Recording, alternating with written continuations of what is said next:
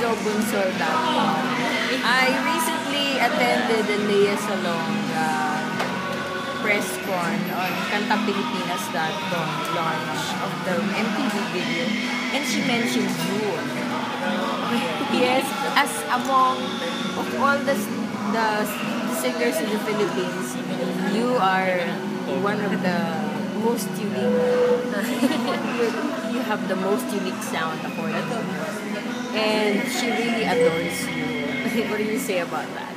Well, um, well, sobrang nakaka-flatter. And when, nung sinabi nung mami ko sa akin, it's like, no, you kidding? Parang kala ko joke eh. Parang, joke ba yon Serious. But I guess sobrang flattered lang and parang hindi panipaniwala, I guess. But yun nga, I guess I guess it just goes to show na people are really starting to look for some something different, I guess. So, and I'm glad people have responded because positively to that because yun nga, I've, I've always been myself and I'm just glad people like Did that. you know before na sing na you already know na you can sing? Um, well, I, I did sing regardless of whether or not I thought I was, well, wala, mas lang kumanta for me.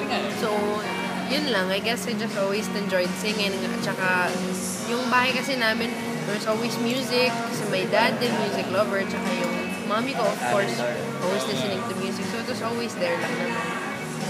And Karil, she's really adoring you and, and supporting you in every step. Yeah, Oh, she's- we see the tweet, we see everything. Ay, yeah. Kasi wala akong Twitter, so talaga siya nag-tweet blast at saka yung mommy ko. So, yeah. Oh, you look like your mom, you know, Mr. Dad. Pero how old are you now? 20 years old. You're 20 years old. You're done in school. In Lasal. Okay, and you're taking a Literature. Oh, that's interesting. Congratulations because everybody loves your song. Thank you. And we hope to see more of your videos posted on YouTube because talagang ang dami-daming hits nung ako na lang. Yeah, I hope so. Oo, tsaka yung ano, yung... We also, one of our vlogger friends also uh, posted your performance in the Kitchen Musical. Ah, okay. Oo, so ang lakas ng hits. Talagang everybody loves you, Zia. Congratulations.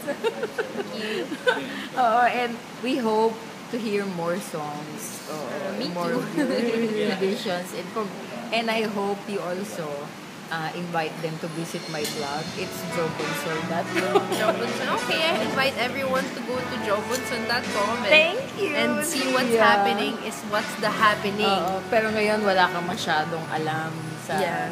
chismisan, Wala. entertainment. Wala naman. good thing, pero Yeah. oo, maybe you get used to it na bagay. You came from a showbiz family. yeah. Thank you, Zia!